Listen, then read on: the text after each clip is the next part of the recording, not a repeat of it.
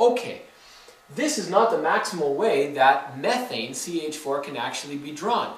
The C can be attached to the H's, not in 90 degree fashion that you see here in two dimensions, but in three dimensions like this. Look at that. That's called a tetrahedral shape.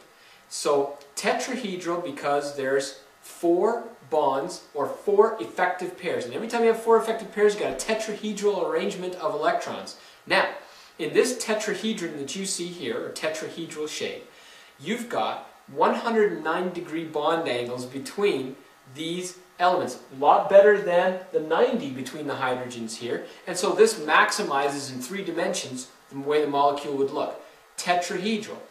But if we have something like ammonia, which also has one, two, three, four effective pairs, but one lone pair and three bonding pairs, then it's going to have a bit of a different shape. So you just take this, suck the top off of that, and put in a pair of electrons up here. But something called valence shell electron pair repulsion theory tells us that the lone pairs occupy, occupy more space than bonding electrons, so they force the lone pair up here, forces the bonds down here to about 107 degree difference. And ammonia looks like that. We just put the nitrogen in there, blue instead of black. Okay, fine. So there is your pyramidal shape for this. Now, in the tetrahedral, we look at that and we say, you know, all those bond angles look equivalent to me, and because they are, all the way around, that is a nonpolar molecule. But in this one, nitrogen's more, more electronegative than hydrogen, so the, that line pointing from the hydrogen to nitrogen, going this way, going this way, going this way, none of them really cancel out with anything coming down like they did in the tetrahedral. Pyramidal shapes give you polar.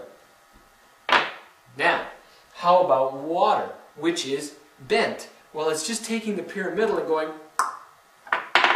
and now you've got a V shape or a bent shape. And again, it's a polar molecule because this line and this line don't cancel out and water is this bent shape. Where are those lone pairs again? Up here and over here, forming a tetrahedron. So it's really a tetrahedral structure, but it's got two lone pairs. We don't count the lone pairs in the name of the shape, and that's a V shape, or bent. Okay, so then how about HF? Well, that's pretty obvious, isn't it? You're going to have to have a linear shape for that one. That's called linear. Effective pairs here, here, and here, they're in a tetrahedral arrangement, but that's a linear molecule.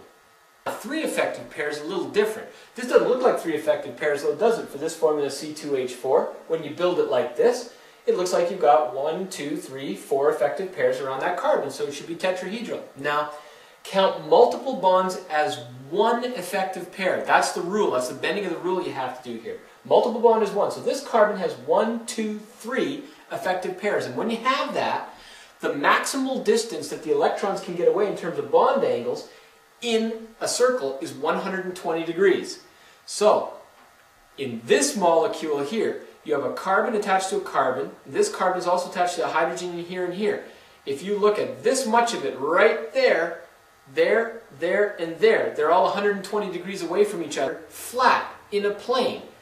Trigonal planar. So remember carbon dioxide from before? It had double bonds going to the oxygens at either end. There you go. Those are springs that are in there. Sure.